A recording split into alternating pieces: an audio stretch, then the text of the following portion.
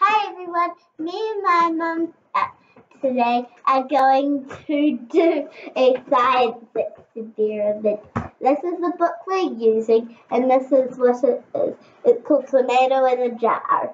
The things today, we'll need a jar and a little washing up soap. Um, so let's get started. What do you need to do first? First, you, um, uh, uh, that's this first. Uh, yeah, that one. Fill a jar with water. That, that's about Okay, and what next? And a little washing up liquid. Put the little washing up liquid.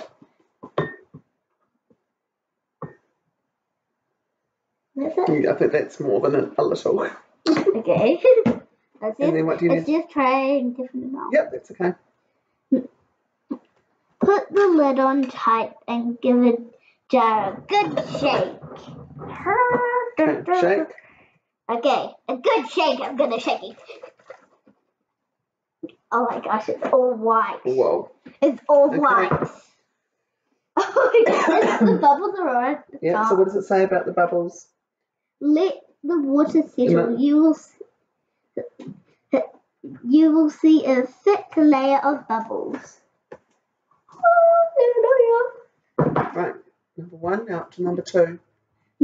Hold the jar with one hand on top and one hand on the bottom. Quickly move the jar uh, uh, round and round in a circular motion. Okay, I'm just going to show you. I've done this with my class. This is what you do. Oh, cool. Oh? It's a tornado! It's a So that's how you need to do it. So at the bottom, and you move your arms, okay? That's it. So you've got to wiggle your bottom. That's the key to wiggle, wiggle, wiggle, wiggle, wiggle. Right, and stop. See if it's like the tornado? A little bit. a little bit.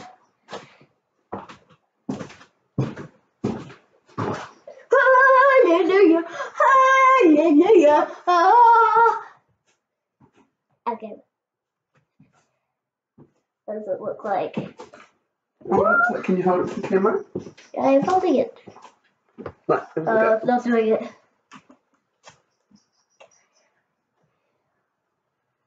Is it doing it? Yeah. Is it doing it? Is it? I don't think it's working that much. Don't work that much. It did it the first time. There it is. Whoa! There it is. Tornado! Tornado! And that's a cloud. I don't know if I can see it on the video. Ah, yeah, this way. So, She did say it. quickly move the jar around in a circular motion, get the liquid spinning.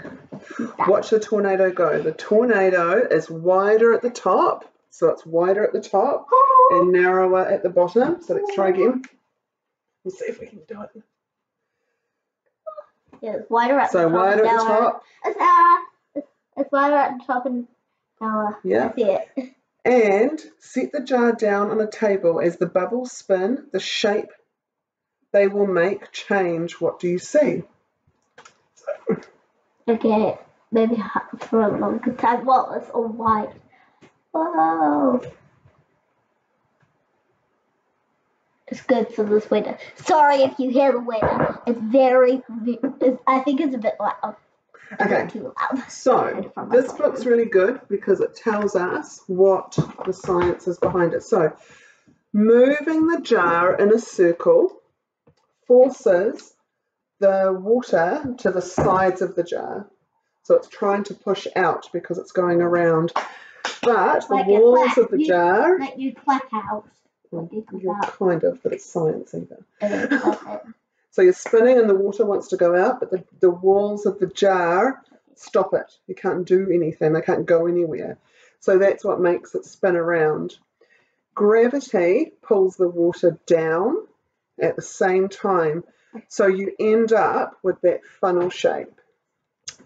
Real tornadoes, like the one in these pictures, That ones in the pictures, can spin as fast as 480 kilometres an hour. I don't think Alan is spinning that fast, but might be a little bit fast. Yes, a little bit fast. I was wondering that. Yeah. So is it's it an easy experiment? Yes, Do you think everyone else would be able to do that? yes. So what do you need? You need a Jar. with, Li- but what's in the jar? water. And Dishwashing liquid. We might try it again. Maybe we can try with some more dishwashing liquid. Yeah, let's try Right. again. What are you going to say? Bye bye. See you later. Peace ah! out.